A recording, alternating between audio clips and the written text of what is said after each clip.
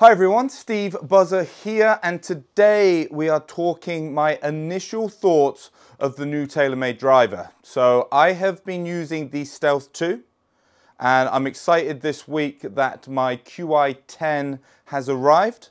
Um, I've hit it a few times, um, and I was lucky to hit it a few times in December also. So two big changes. One in terms of look, one in terms of performance. So if you have been using TaylorMade product or you've been checking out reviews, you've been in the market for a driver for a few years, um, I would say the Stealth was extremely low spinning.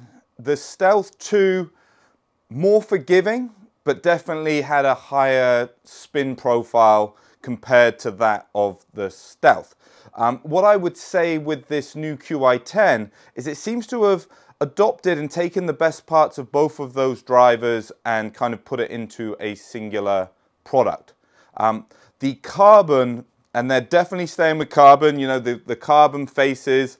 Um, the red wasn't because it was carbon, it kind of signified the stealth line. So they've removed the, the red, they've gone into this like blue. I think for more of the traditionalists, they're going to prefer the blue. But um, when you look down, you can't really see the face on either of the products. So um, the face to me isn't really that important. Um, they do the customized ones. You can kind of change it to whatever color you wanted. But uh, like I say, they because they've gone into carbon, I felt the Stealth 2, they increased the amount of carbon and that increased the amount of spin. Um, uh, an analogy I use, and I'll use this in a club fitting, and um, I can also apply it to the drivers themselves when we're comparing model against model, is like Formula One, a race car, um, you have to consider the downforce. So if you remove the downforce on a Formula One car, um, it can go faster in a straight line, but then it can't get around the corners. So you have to find this nice blend between that raw top speed and the ability in Formula One to get it around the corner on the golf course is to remain on the golf course. So again, I, I, appreciate that analogy is a little simplistic and a little flawed, but when it comes to the spin model, um, you, you need a nice blend between the two. Um, if you've seen any of the advertising for this new driver, they're kind of going, look, we've got all of this forgiveness, and we're reducing spin also. Um, I actually believe that's true. Um, one of the, and I'm not going to say it's an issue with the Stealth 2, um, I had to go down into an 8 degree to find my spin model or hit the range of spin in which um, I, I desired. Um, I hit down on the ball slightly, um, especially when I'm on the golf course. So when you're getting fit for a driver, consider the swings you make you know, on the range, especially hitting shot after shot after shot, compared to the swing that you make on the golf course individually hitting, you know, it, we don't want to be in a situation where we're hitting back-to-back drivers. That means we're hitting a provisional. You know, there's going to be, you know, 10, 15 minutes between shots. So it can sometimes be hard to get into the flow. And it's also understanding your tendencies. So for me, if you put me with a launch monitor, you know, I got like the full swing here, you, um, you give me a little chance, I will start to hit up on the ball gradually and I'll find a nice feeling to do that. Um, under pressure on the golf course, I tend to revert to type. I revert to what my body wants to do. I'll tend to hit down on it a little bit. Um, that's going to increase the spin significantly. So I have to kind of consider on the course, that's what I do. The eight degree meant I wasn't going to go crazy high in the spin when I made that swing in particular. But by lowering the loft, um, it can cause a launch issue. Um, the loft doesn't change it as much as people think, but um, kind of been able to go into the 9 degree, which I, I have in, in the new product. I kind of show that as a sign generally that they've improved the spin profile of the driver. And again, a little more testing is needed for that, but certainly when I tried it in December, that was the noticeable thing. Um, stealth, that was very noticeable. In the nine degree, in that model, I, um, I was actually struggling to spin it. Or I, had, I think I ordered an eight degree in the stealth because the Sim 2 was spinning a lot. And if you can, if you compare Sim 2 versus Sim, they did the same thing. They added a lot more carbon onto the Sim 2. So I'm kind of, that's where I'm going. Like, I think when there's more carbon on the body, the more spin. Um, you could argue I don't have enough examples to justify that comment, but nevertheless, um, this new driver, performance, definitely spinning lower, and it's definitely faster. I think it's definitely faster. It's definitely faster. I'm trying to put the disclaimer in there. Um, I hit it in December and it was a cold day and I didn't really warm up. And I, I made a couple nice swings and I got the ball speed to 178 for a couple swings. Um, that is not my norm.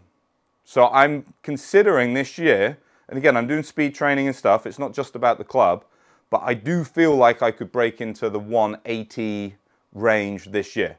Won't be the norm, but it would be lovely if I could jump in there when I'm practicing so then I can cruise at like 175 as my normal swing on the golf course.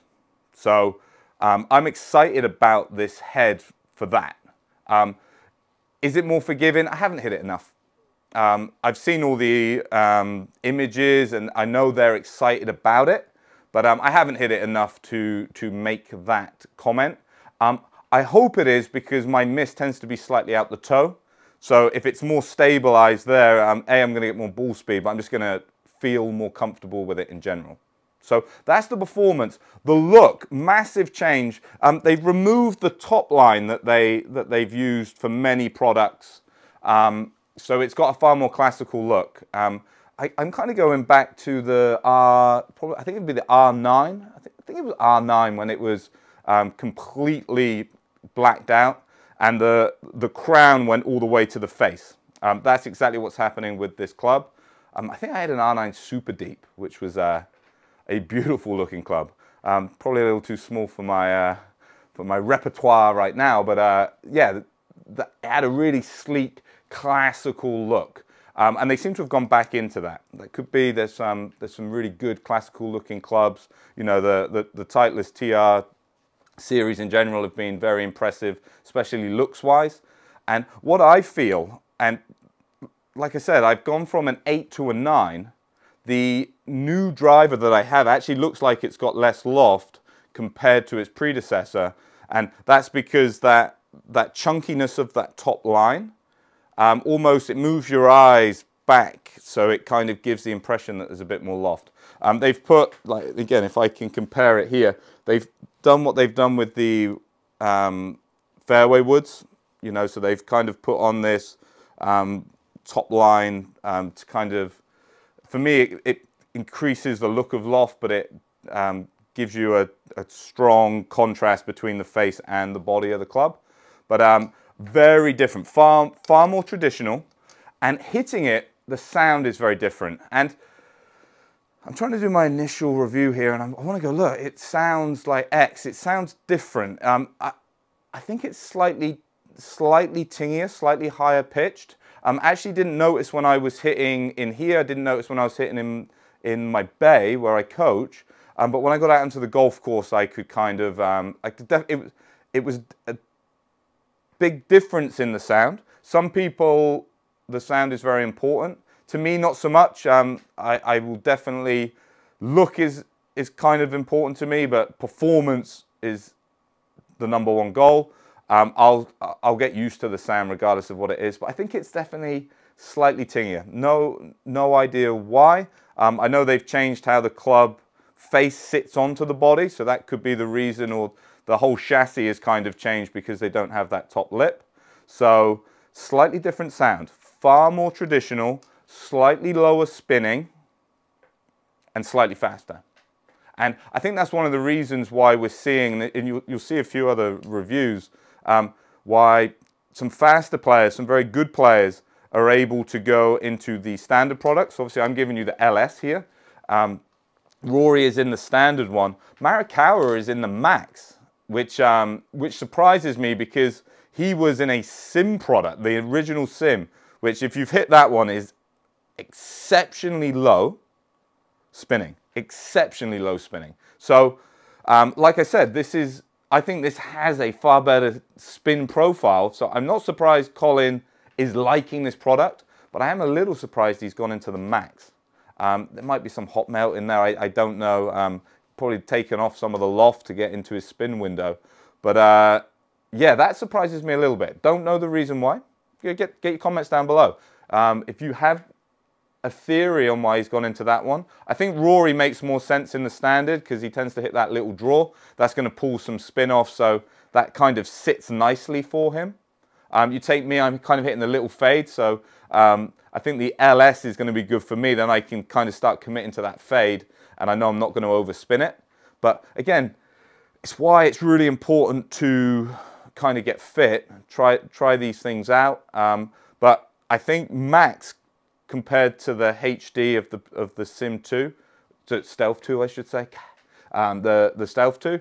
Um, that one definitely had too much spin if you wanted to hit it far. My my race car example, um, the HD had lots of downforce, lots of spin, definitely keeping you on the racetrack, keeping you on the golf course.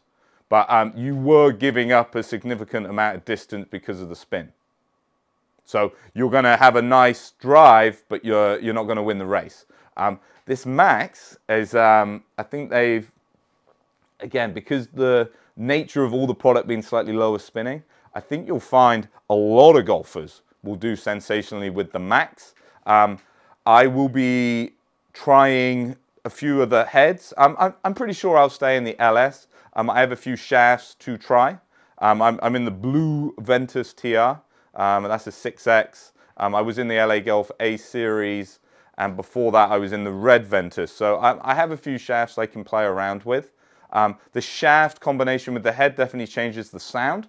So it'll be interesting if the sound changes or it kind of goes back to what I was used to if I find a shaft that is more suitable. But again, um, we'll have to watch this space for that one because I'm not necessarily saying this Ventus Blue isn't doing its job. So um, as always, thanks for watching. Get some comments down below. Stay happy.